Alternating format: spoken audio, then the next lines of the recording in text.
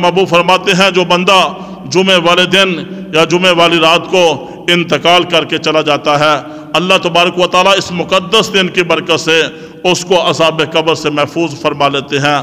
شہید کو بھی عذاب قبر سے محفوظ فرما لیتے ہیں اور معزن کو بھی عذاب قبر سے محفوظ فرما لیتے ہیں۔ اور جو بندہ جمعے والے دن یا جمعے والی رات کو انتقال کر کے چلا جاتا ہے، اس کو بھی میرا رب عذاب قبر سے محفوظ فرما لیتے ہیں۔ اللہ کے محبوب صلی اللہ علیہ وسلم اشار فرماتے ہیں جمعے والے دن ایک گڑی ایسی ہے، ایک ساتھ ایسی ہے، اس گڑی کے اندر اللہ کے حضور جو بھی دعا مانگی جائے، اللہ اس دعا کو قبول فرماتے ہیں۔ بعض علماء نے لکھا کہ جب امام جمعے کے خطبے کے لیے ممبر پر بیٹھتا ہے اور جتنی دیر خطبہ دیتا رہتا ہے، اس دورانی کے اندر وہ گڑی ہے۔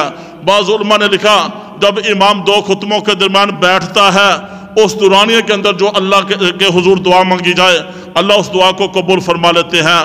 اور بعض علماء نے لکھا، یہ گھڑی اثر سے لے کر مغرب تک کے درمیان کے اندر ہے۔ لہٰذا بعض علماء نے کہا، سارے ہی دن کے اندر ہے۔ بعض نے کہا، یہ وقت بدلتا رہتا ہے۔ لہٰذا جمعۃ المبارک والے دن اللہ کے نبی نے فرمایا، ایک گھڑی ایسی ہے، اس گھڑی کے اندر جب مسلمان بندہ اللہ کے حضور التجا کرتا ہے، کوئی بھی دعا کرتا ہے، اللہ پاک اس کی دعا کو قبول فرما لیتے ہیں۔ پھر جمعے کا دن آتا ہے جمعے کا مقدس دن آتا ہے۔ مسلمان گھر کے اندر تیاری کرتے ہیں، سنت کے موافق غسل کرتے ہیں، خوشبو لگاتے ہیں۔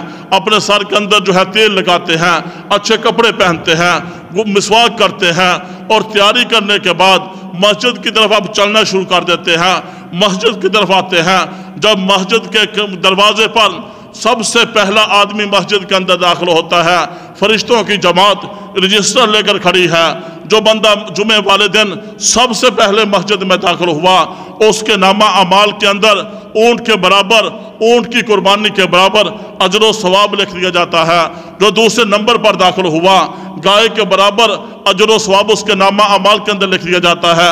جو تیسرے نمبر پر داخل ہوا بکرے کے برابر اجر و ثواب اس کے نامہ اعمال پر کے اندر لکھ دیا جاتا ہے، جو چوتھے نمبر پر داخل ہوا، مرغی کے برابر، جو پانچویں نمبر پر داخل ہوا، انڈے کے اجر، قربانی کے برابر اجر و ثواب اس کے نامہ اعمال کے اندر لکھ دیا جاتا ہے۔ ہم کیسے مسلمان ہیں؟ ہم کیسے عاشق رسول ہیں؟